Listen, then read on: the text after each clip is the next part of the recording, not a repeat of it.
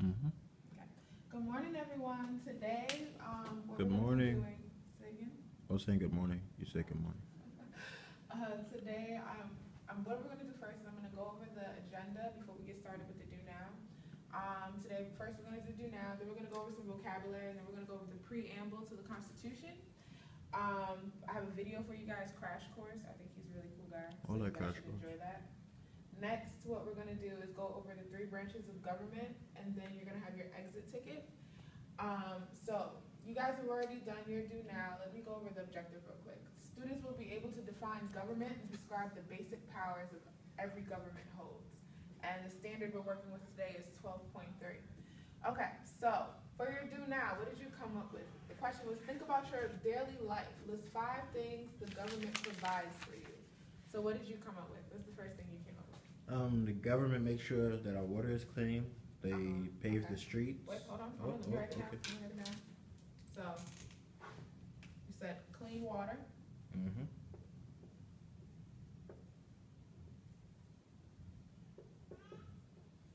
what's next? They pave the streets, make sure the streets are maintained. Okay.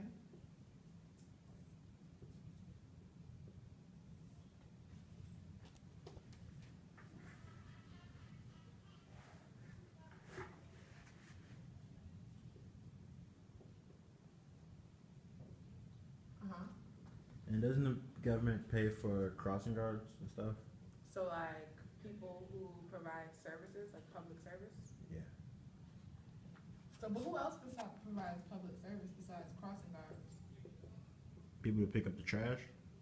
So, yeah, people who pick up the trash, who else? Uh, security guards for the school.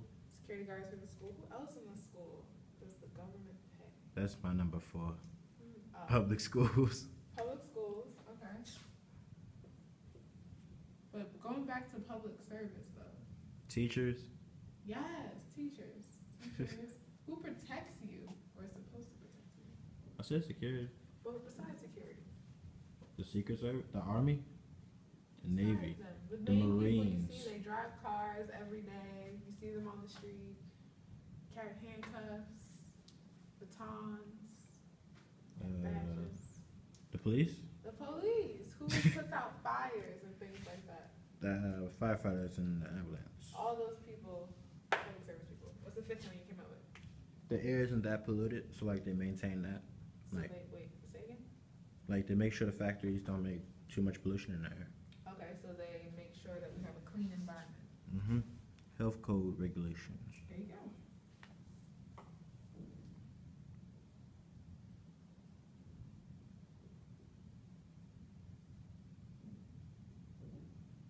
Okay, these are all good. These are all very good.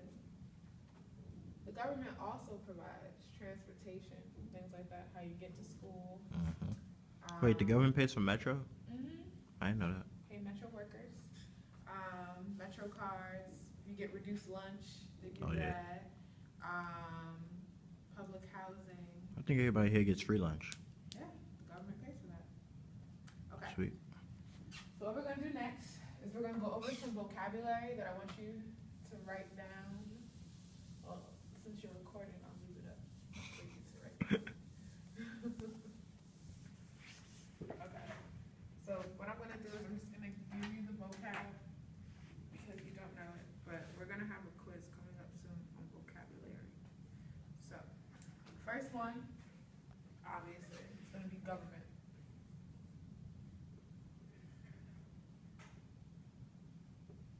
Before I give you the definition, I want you to tell me, what is a government? The system that has been put in place to govern the people of the United States of America. Just the United States of America? Well, Other countries don't have government?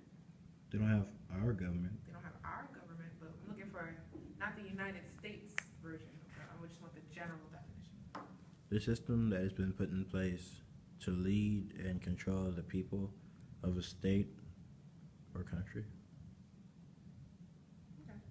I like that. I like that. I like that. So the system, I'm actually gonna keep it like that.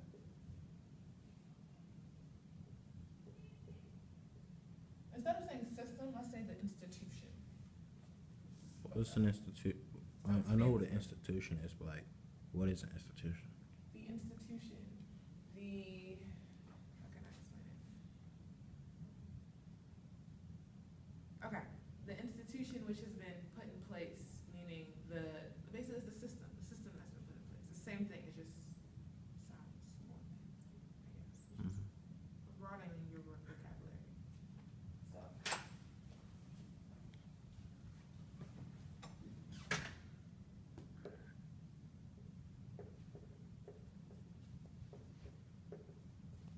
You said the the system in which way? The institution has been put in place to lead and control people. To lead and control? Uh, hmm. How about, let's say, instead of lead and control, let's say makes and enforces laws. Okay. Not sound so dictatorship.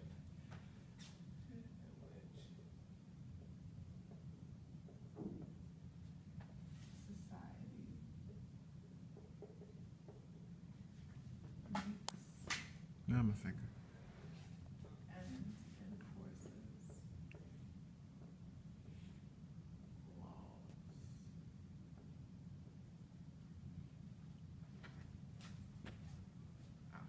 Mhm. Say and policies.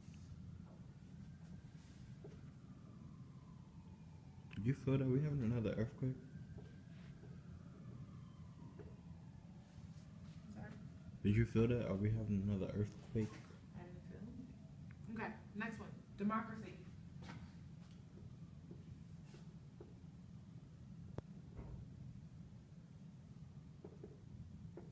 What's a democracy? What do you think a democracy is? Isn't democracy like when everybody gets a vote? hmm Everyone gets a vote, so that means that the supreme power is with the people. Well, that's not really true. Well, that's what the definition of democracy is. That's how it's supposed to be. I'm not saying exactly like that, but that's the definition of democracy. Doesn't the Senate make all the rules? Like, But we get to vote on it. we get to vote on them, but once they're in, they get to make whatever they want to do. They still have to like. We might not get okay. It's basically like we elect someone who we feel would be a good representation of us, and then because we elected them, their decisions are our decisions, and you still have to have you still have to have people who back their decisions. So it's basically like majority. So like it's just because one person says something does not mean it's how it's gonna go. If one person says it and then everyone else backs them up, then that's how it goes. The people like let's say you have are elected, right? So Mm-hmm. that means three different groups of people elected them. So they have three different groups of people behind them. If you have the person, let's say we elected somebody, and they say they want to enforce a new law or something like that, right? So that means that the people who voted for that person are backing that person. And the other two people, they have groups of people backing them too. So if this person wants to enforce that law, he has to get these other two people to, to back him up. So let's say one of the people agrees and the other person doesn't. That's still majority rules. You have two people versus one. Mm. And you have the people who back them also. So that's basically how it goes. So democracy, a form of government.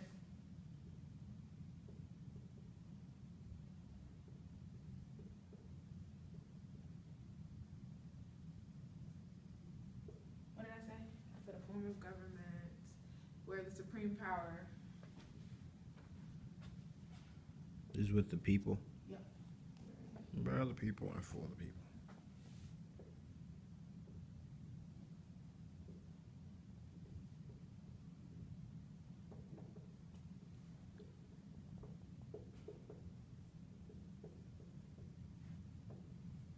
Okay, next word is state.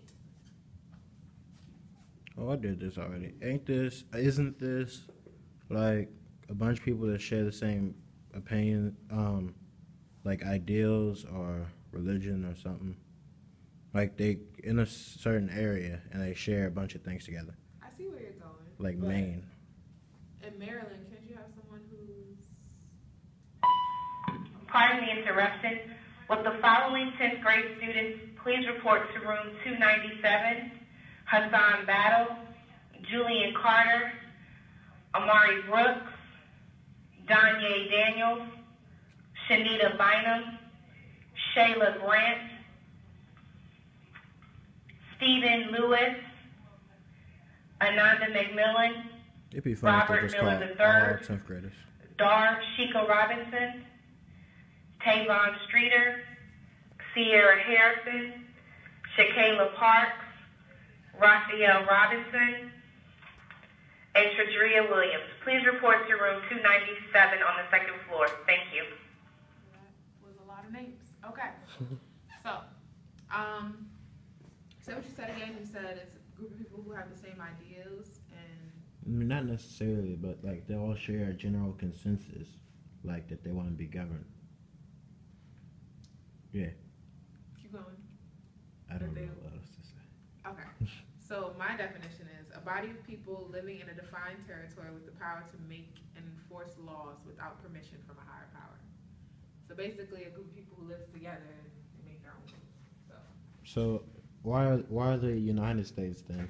Hmm? Because the states still have to abide by the The- union, I mean, state there's state law and then there's federal law. We're gonna get to that, man. We're gonna get to that. but that's a higher power, isn't it? Like the federal. We're gonna get to that. You, you jumping ahead, running, walk a little bit, slow down. Hold on. You gonna get to that. That's that's a lesson for another day. I don't wanna jump forward. So a body of people.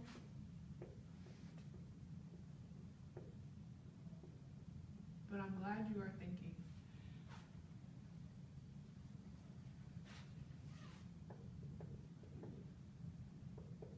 How long is it supposed to be again? Uh, you can stop when we finish the vocab. Mm-hmm. A defined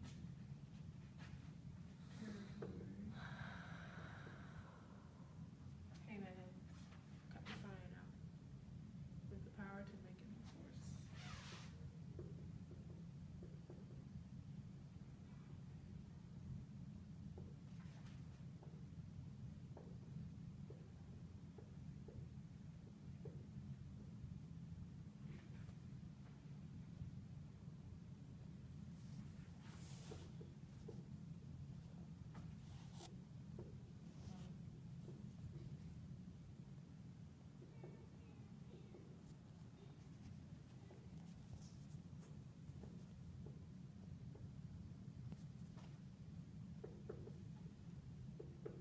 Okay, next one.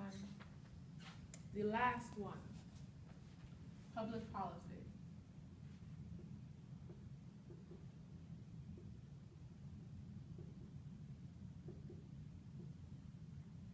What do you think public policy is?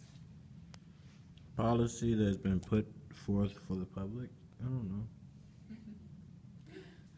Well, yes, but, okay, it's things that the government decides to do, um, ranging from education to healthcare to transportation. So basically, everything that benefits, or everything that affects, not, I shouldn't say benefit, but everything that affects the public. Mhm. So, the things that a government.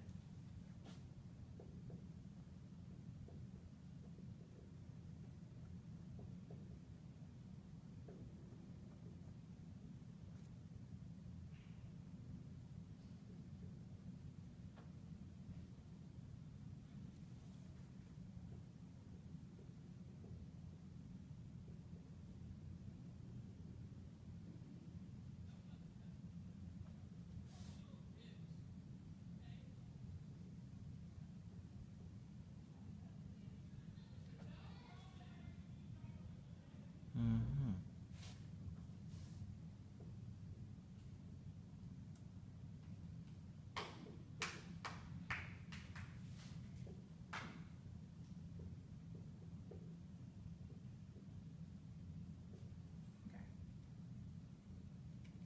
Alright. So, I'm gonna leave this up for you to write it down. After this, we're gonna, we're about to go over the preamble. And I have a video for you on the Constitution with Crash Course, which I think you'll like. I think you'll enjoy. I must warn you though, he talks a little fast, so if you need me to pause it or go back and repeat a, a section, let me know.